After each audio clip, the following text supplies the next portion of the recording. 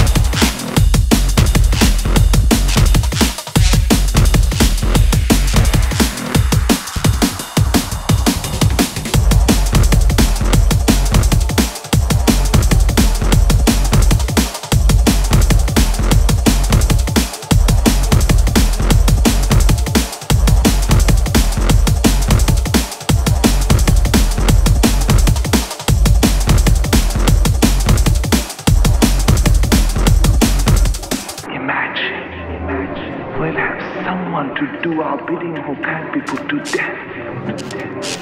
Just as we have given it life, only we can take its life away. Imagine, imagine, imagine.